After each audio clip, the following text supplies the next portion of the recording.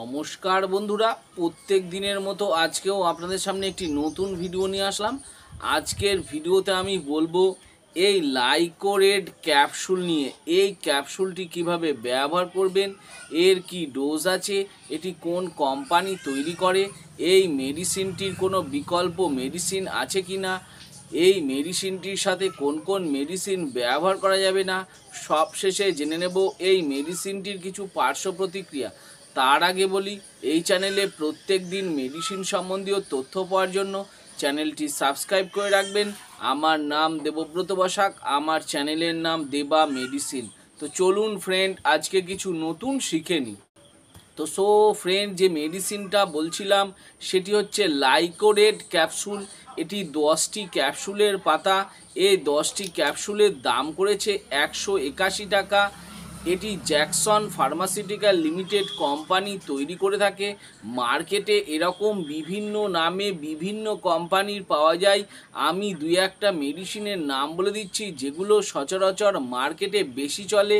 যেমন হচ্ছে লাইকোপেনো ক্যাপসুল ইওফোর্ট ক্যাপসুল লাইকো গোল্ড ক্যাপসুল। এরকম বিভিন্ন নামে বিভিন্ন কোম্পানির পাওয়া যায়। আপনাদের অঞ্চলে যেটি সস্তা মনে হবে এবং যার মধ্যে লাইকোপিন, জিঙ্ক, সেলিলিয়াম সবজেল্ট দেওয়া থাকবে সেটি দেখে ব্যবহার করতে পারেন। তো ফ্রেন্ড আজকে আমি এই লাইকোরেড ক্যাপসুল নিয়ে বলছি, এটি একটি সফট জেলস ক্যাপসুল, খাদ্য সম্পূরক শ্রেণির অন্তর্গত। প্রাথমিকভাবে পুষ্টির ঘাটতি পূরণ করতে ব্যবহার করা হয়ে থাকে। এটি ব্যবহার করা হয় জিঙ্কের অভাব, লাইকোপিনের অভাব, কার্ডিওভাস্কুলার রোগ, কোলেস্ট্রলের মাত্রা কমাতে। এটি একটি অ্যান্টিঅক্সিডেন্ট যা মুক্ত মুক্ত র্যাডিক্যালের বিরুদ্ধে লড়াই করে। এগুলোর জন্য ব্যবহার করা হয়ে থাকে। এছাড়া এর মধ্যে, এছাড়া এর মধ্যে সেলেনিয়াম আছে।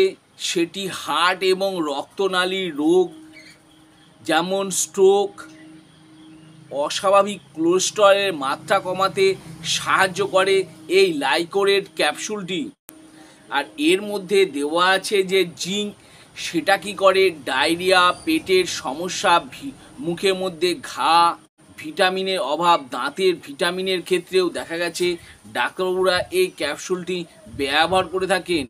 শরীরের মধ্যে পুষ্টির ঘাটতি কমাতেও এই ক্যাপসুলটি ব্যবহার করে থাকেন। এই ক্যাপসুলটি খুব ভালো একটি ক্যাপসুল। এটি ব্যবহার করে দেখতে পারেন, অনেক সময় দেখা গেছে ভিটামিনের অভাবে বা লাইকোপিনের অভাবে। লাইকোপিন শরীরে কম আছে, সেখানে জিঙ্কের অভাব আছে। সেই সব পরিস্থিতিতে ডাক্তারবাবুরা পেশেন্টের কন্ডিশনের ওপর নির্ভর করে এই ক্যাপসুলটি ব্যবহার করে থাকেন এবং পেশেন্টের খুব ভালো কাজ হয়।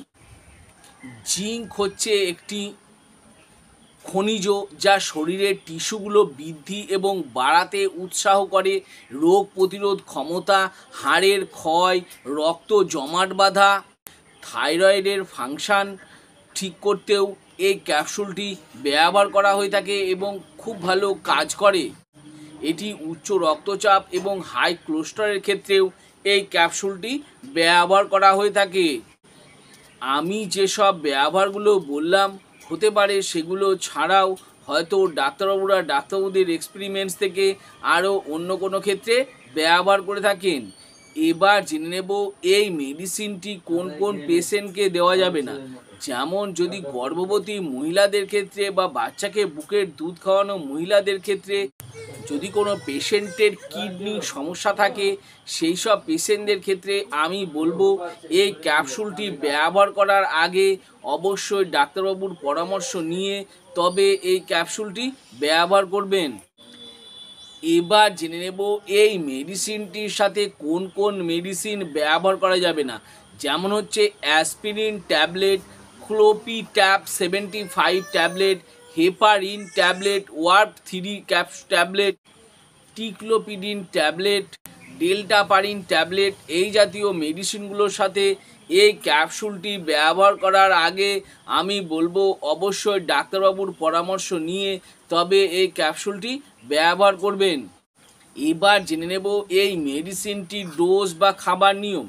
এটির মধ্যে দশটি ক্যাপসুল থাকে। এই দশটি ক্যাপসুল দেখতে অনেকটা এরকম।